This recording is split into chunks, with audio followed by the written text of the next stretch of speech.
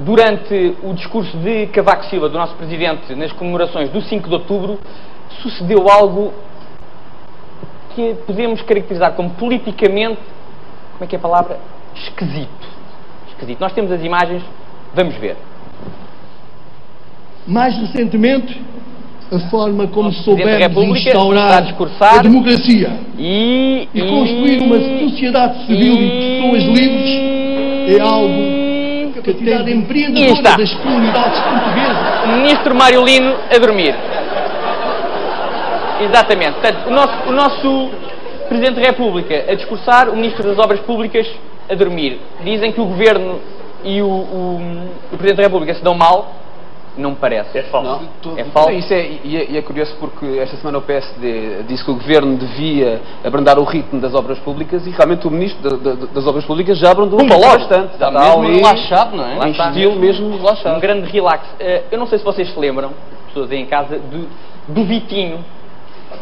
O Vitinho era o desenho animado que indicava hum, a hora eh, das crianças se deitarem. Portanto, o Vitinho já não existe. Agora existe, isso sim, hum, o Cavaquinho, que é o Presidente da República, que diz são horas do soninho. Vamos ver.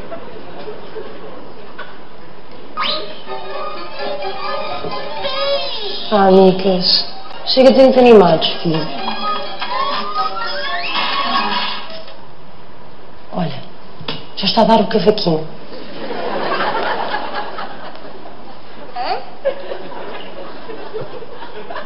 Está na hora do discurso, vamos lá dormir.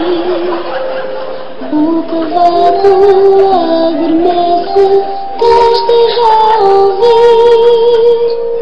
Ao pé do cavalo,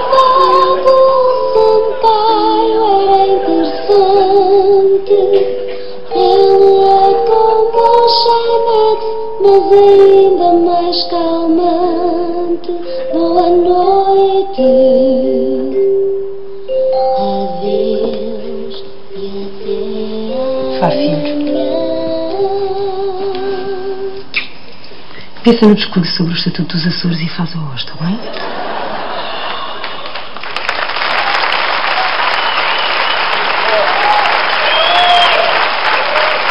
Tiago. Tiago, eu sei que tu, tu estás preocupado Estou com isto do preocupado cavaquinho. Com, com o cavaquinho. Eu tenho algum receio que as crianças, ao verem o cavaquinho, em vez de se querem ir deitar na cama, se queiram ir esconder debaixo da cama.